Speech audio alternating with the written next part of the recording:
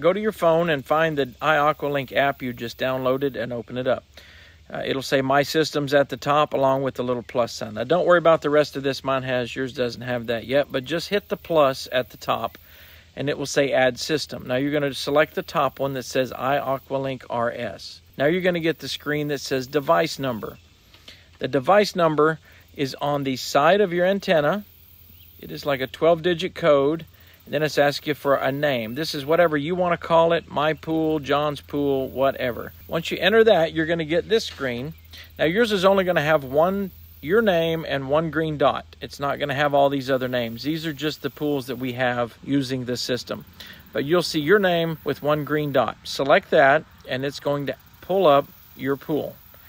Uh, you can double check it by hitting filter pump, and it should turn your pump on. If you have a spa, you can turn the spa on and it'll begin to turn the valve actuators. So this is how you use it.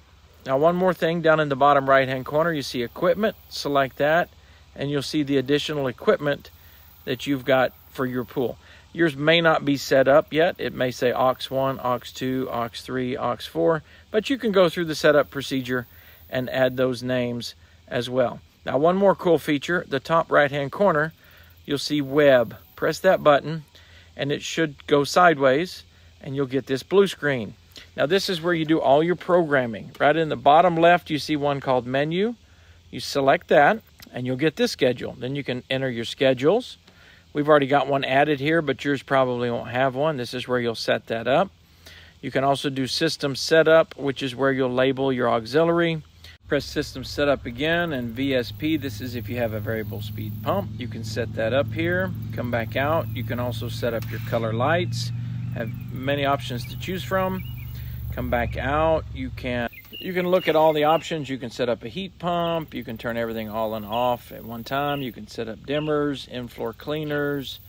You can set up uh, so many different things. Spa remotes. You can set your salt system if you have one. This one doesn't. Uh, you'll hit the set temp button. That would set your range on your pool heater, spa heater. It's the same heater, but two different temperatures. But basically, that's it. Uh, lots of features you can do with this. This is absolutely the easiest system to set up. I love it. We try to put it on every pool we can and uh, really makes using the pool nice. Guys, thanks for watching. Hope you have a great summer and hit that like and subscribe button. And hopefully we'll see you in the next one.